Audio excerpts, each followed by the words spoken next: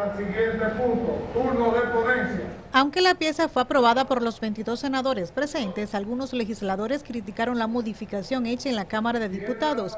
El senador por la provincia Monseñor Noel, Félix Nova, acusó a los diputados del PRM de armar una politiquería barata. Hoy estamos aquí nosotros arriesgando nuestra vida, cada uno de nosotros que tenemos compromiso en las provincias de nosotros, porque la oposición encabezada por el PRM en la Cámara de Diputados no apoyó los 25 días que nosotros aprobamos aquí. Cuando ninguno tenemos garantía que nosotros en 15 días más pudiéramos armar quórum aquí. Ha sido un acto de mucha irresponsabilidad lo de la Cámara de Diputados, sabiendo la realidad que estamos viviendo en este momento, después de haber sido aprobado 25 días, que no son suficientes 25 días más bajarlo a 17. Yo creo que es insuficiente, porque esta es una pandemia que ningún país ha podido controlarla. Y nosotros limitarnos en el tiempo y exponernos también eh, no es eh, aconsejable. Previo a iniciar la discusión del único tema en agenda, algunos senadores pidieron a las autoridades incrementar los esfuerzos para adquirir pruebas rápidas y PCR para aplicarla en las diferentes provincias del país.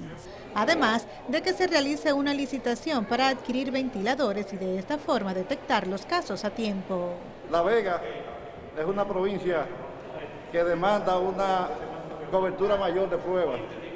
La Vega demanda también que el Hospital Regional Luis Manuel Morillo King pueda habilitarse su laboratorio para que las pruebas puedan fluir. Mientras más pruebas tenemos, más fácil controlaremos la expansión comunitaria. Que comiencen ahora a licitar por lo menos la compra de mil ventiladores.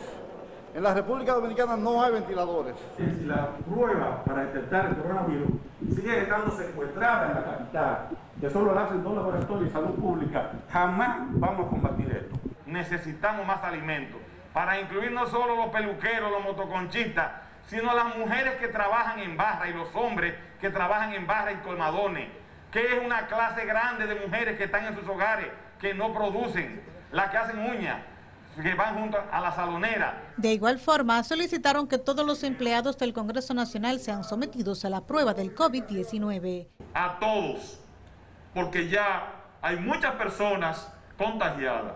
Aquí se reunió la Cámara de Diputados, aquí. Y ustedes saben la cantidad de colegas diputados que han dado positivo. Y aquí estamos nosotros, aparte del peligro que corremos en nuestras respectivas demarcaciones y no había por qué no aprobar los 25 días en este momento difícil que está viviendo la patria. Pero eso es parte de la politiquería. Me lo van a disfrazar que eso es parte del juego de la democracia, pero eso es parte de la politiquería barata. Los congresistas pidieron no aprovechar la pandemia para sacar provecho políticamente. Vamos a enviar una carta al señor presidente de la República, por lo menos una ayuda parcial a estos distinguidos hombres y mujeres de trabajo de la provincia que yo me representar. El primer plazo otorgado por el Congreso Nacional al Poder Ejecutivo vence este lunes 13. A partir de ahí comienza a contar la extensión de los 17 días. Aún, aún los 25 días, aún los 25 días podrían ser eh, insuficientes. Sin embargo, se aprobó en la Cámara, nosotros respetamos eso. El Poder Ejecutivo envió el pasado 2 de abril al Senado la solicitud de extensión del estado de emergencia por otros 25 días. Debido a la crisis que enfrenta el país, dicha solicitud fue aprobada en el Senado, pero esta sufrió una modificación en la Cámara Baja, quienes solo aprobaron 17 días. A partir del 14 de este mes y hasta el 30 de abril continuará el estado de emergencia. Aris Beltré, Noticias SN.